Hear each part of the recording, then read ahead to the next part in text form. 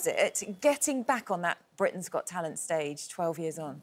It's always nerve-wracking. Um, that, that, that's never changed. You kind of try and find a way of, of managing that, but the, but the nerves never really go away. No. I mean, what, how, when you see, you've obviously seen that clip many, many times, Mm-hmm. can you still feel it? Can you still put yourself back in that moment and you what that felt like? Yeah, I mean, it's, it's, it's, it's like that every time I go on stage. Is it really? you were the very first winner all those years ago. How does it feel now when you look back at where you were before and what has happened in the intervening years? Because, you know, we see what you were like. We heard about the fact that you were facing bankruptcy.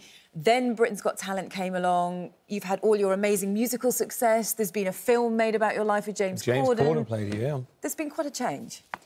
I get to do what I love doing, and that's the most important thing for me. If you, you're able to be you at what you do, then that is by definition success. Did you love working in Tesco's in Bristol with Alex Beresford? What can you tell us about it? Because you worked together, right? I was at mm-hmm. Wine and Spirits aisle. Spirits, Yeah. yeah. I was obviously the harder worker. what, what was he I- like, Paul? he, he, he works harder as a weatherman than he did as a- as as. Oh, that's not very hard at all, then, is that right? Do you actually remember him from those days? Absolutely, yes. Him and his brother. And were you singing back in the day then, even up and down were the aisles in Tesco? I, I was Depends I was singing amateur. I was doing amateur opera at the time, um, but I then got injured and had a had a, had a, a, a burst appendix and a, and a massive Yeah. tumour, and just kind of had to give it up because of lack of money. So, but now I get to do it for a I living. remember, The whole I remember seeing you sing once when I was doing the big breakfast. I went on location and saw you there and thought, well, good God, this man's amazing. so I'm glad um, it's great to see you and it's a fantastic is. story. Thanks we look so much forward for to the coming in. champions this Saturday. Do you. indeed.